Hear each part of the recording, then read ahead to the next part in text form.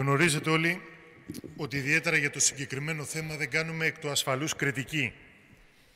Αλλά είμαστε μόλις μας τις δυνάμεις όλα τα προηγούμενα χρόνια στη μάχη κυριολεκτικά για τη βοήθεια στους συνανθρώπους μας για να σωθεί ό,τι μπορεί να σωθεί στην πρώτη γραμμή στα μέτωπα των πυρκαγιών, στην κατάσβεση μαζί με τους κατοίκους και έχουμε δει όλοι με τη δική μας προσωπική συμμετοχή την κατάσταση που υπάρχει.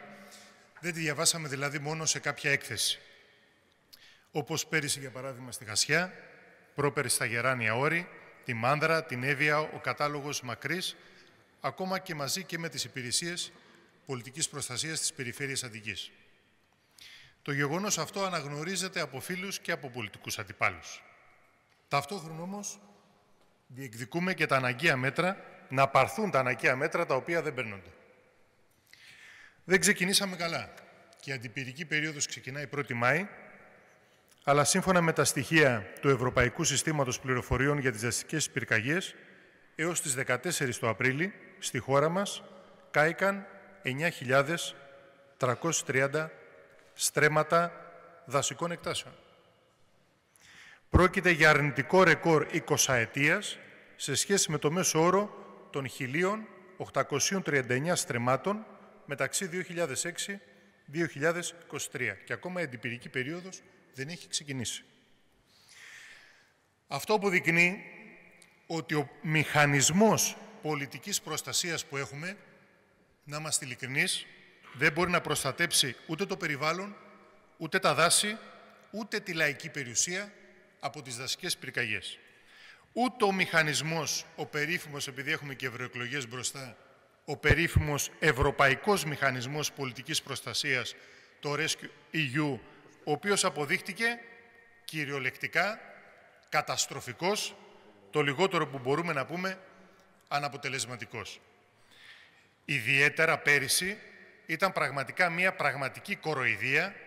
Είχαν ξεκινήσει πυρκαγιές από 4 έως 10 μέρες και μετά ήταν που έστειλε τα πυροσβεστικά μέσα.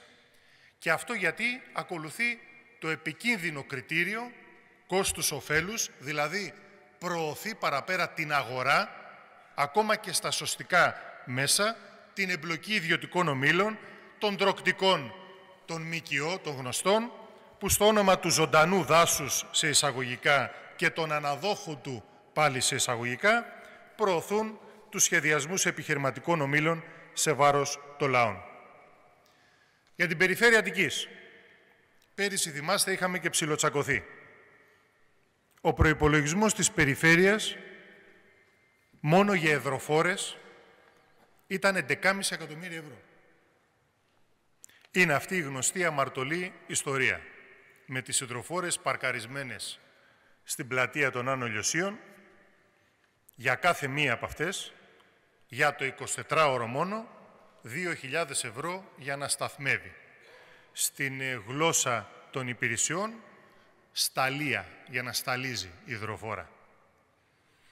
Δεν θέλουμε να ξανακούσουμε τα γνωστά επιχειρήματα, τα θεωρούμε δικαιολογίες που αναμεσάει η κυβέρνηση με την εκδήλωση μάλιστα που έκανε για την παρουσίαση του εξοπλιστικού προγράμματος Αιγής πριν λίγες μέρες, για τις ακραίες και πρωτόγνωρες καιρικές συνθήκες, τον άνυδρο και θερμό χειμώνα, τη Χαβάη, ακούσαμε πέρυσι, σαν παράδειγμα. Να είμαστε καθαροί, δεν υποτιμούμε καθόλου τις κλιματολογικές αλλαγές. Όμως αυτές κάθε χρόνο δεν μπορούν να αποτελούν άλοθη για να δικαιολογήσουν την καταστροφή, αλλά μόνο λόγος για να την προλάβουμε, την καταστροφή. Εντάχει, τα μέτρα που ανακοίνωσε η κυβέρνηση και μας δημιουργούν μια τεράστια ανησυχία για το τι θα γίνει. Πρακτικά δεν ανακοίνωσε τίποτα. Δηλαδή, τι είπε, μία δήλωση ενδιαφέροντος για παραγγελία νέων πυροσβεστικών αεροσκαφών, που αν και εφόσον ξεκινήσει, ακόμα δεν υπάρχει γραμμή παραγωγής, είναι δήλωση ενδιαφέροντος. Στην καλύτερη των περιπτώσεων, ακόμα και να υπάρχει, το πρώτο αεροσκάφος που θα παραλάβουμε είναι το 2027, έχουμε 2024. Έτσι. Δεύτερον, αντιπυρικός σχεδιασμός, ιδιαίτερα για την οργάνωση των επίγειων μέσων, που είναι αυτά που συμβάλλουν καθοριστικά στην κατάσβεση της πυρκαγιάς. Όλοι οι αρμόδιοι γνωρίζουν ότι τα εναέρια μέσα βοηθούν, συμβάλλουν καθοριστικά, αλλά δεν σβήνουν τις πυρκαγιές. Απόδειξη ότι δεν έχει γίνει τίποτα γι' αυτό, την ίδια στιγμή που η κυβέρνηση κάνει παραγγελία για Καναντέρ, ως εκ του θαύματος απαλλάσσει από την υποχρέωση να περάσουν κταίο τα οχήματα της πυροσβεστικής. Γιατί; Μήπως γιατί το πιο καινούριο είναι δεκαετίας και ούτε κταίο δεν θα πέρναγε. Το 85% των οχημάτων της πυροσβεστικής με τα επίσημα στοιχεία είναι δεκαετίας και βάλε. Αυτό είναι μια ομολογία. Οι, ίδια, οι ίδιοι οι εκπρόσωποι των πυροσβεστών μιλούν για 4.000 καταγεγραμμένα κενά, τα οποία δεν μπορούν να καλυφθούν από την μονιμοποίηση συμβασιούχων πυροσβεστών, οι οποίοι επομίζονται και το κόστος και για τις πυρκαγιές μέσα στους αστικούς ιστούς και όχι μόνο τις δασικές. Πάρνηθα. 350.000 στρέμματα δάσους, τα περισσότερα καμένα, αλλά παραμένει χώρος που εμείς πρέπει να επιμείνουμε να γίνει ξανά δάσος. Πόσους δασοφύλακες έχει, πόσους δασεργάτες έχει; Πέρυσι είχε μόνο έναν, δασοφύλακα. Δασεργάτες μη συζητάμε. Συνεχίζεται η αντιεπιστημονική και αποδείχτηκε στην πράξη όλα αυτά τα χρόνια διάσπαση της δασοπυρόσβεσης, της δασικής υπηρεσίας από την πυρόσβεση, της πρόσληψης δηλαδή, της πρόληψης από την κατάσβεση. Με τη μεταφορά της αρμοδιότητας της δασοπυρόσβεσης από τη δασική υπηρεσία στην πυροσβεστική υπηρεσία, που ξεκίνησε το 1998 με την κυβέρνηση του Σιμίτη, με το νόμο 2612 το 1998 και συνεχίστηκε μέχρι σήμερα από όλες τις κυβερνήσεις. Μια καταστροφική επιλογή.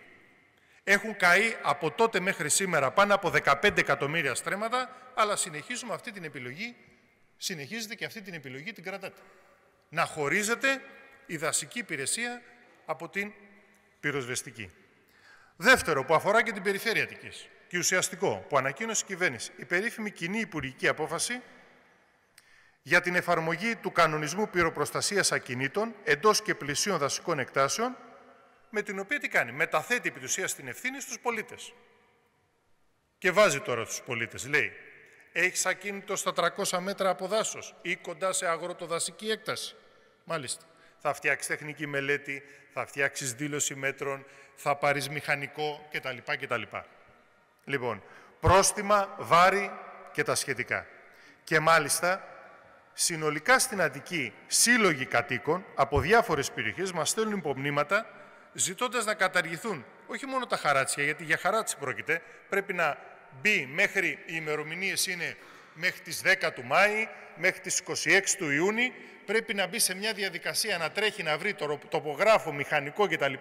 για να δει τι θα κάνει με τα μέτρα δασοπυρόσβεσης. Και μαζί με όλα αυτά, Έχουμε και λέμε, σελίδα 5 της κοινής υπουργικής απόφασης. Λέει χαρακτηριστικά, στη σελίδα 5, ότι για τον έλεγχο όλης αυτής της διαδικασίας, οι έλεγχοι θα διενεργούνται μέσα στην αντιπυρική περίοδο δειγματοληπτικά σε ποσοστό ανάλογο της επικινδυνότητας του ακινήτου κτλ. Από τριμελείς επιτροπές. Οι τριμελείς επιτροπές θα αποτελούνται από ένα δασολόγο ή γεωπόνο, έναν μηχανικό και έναν ακόμα υπάλληλο του Τμήματος Πολιτικής Προστασίας της Περιφέρειας. Ξέρετε πόσοι υπάλληλοι είναι στο Τμήμα Πολιτικής Προστασίας της Περιφέρειας, στη Δυτική Αττική που θα πάμε στη Μάνδρα, οι οποίοι θα επομιστούν να κάνουν έλεγχο και σε όλη αυτή τη δασική έκταση και στα χωριά για σπίτια ή ακίνητα που βρίσκονται κοντά σε δασικές περιοχές; Είναι όλοι και όλοι πέντε. Αυτοί οι πέντε θα κάνουν τους ελέγχους αυτούς εδώ που λέμε. Ανακοίνωσε επίσης τη συνέχιση της ανάθεσης στο αμαρτωλό ΤΑΙΠΕΔ εδαφοτεχνικών έργων καθαρισμού. Πώς γίνονται αυτές; Με απευθείας αναθέσεις, με ελεγχόμενες διαδικασίες επιλογής αναδόχων που καλούνται να εκτελέσουν έργα καθαρισμού δασών δίπλα σε δρόμους, έργα συντήρησης δασικού οδικού δικτύου κτλ. κτλ. Έργα που κοστίζουν χιλιάδες και χιλιάδες ευρώ, τα οποία θα μπορούσε να τα κάνει η δασική υπηρεσία, αλλά από τη δασική υπηρεσία λείπουν 1.500 δασολόγοι και 10.000 δασεργάτες. Και δεν μπορεί να τα κάνει.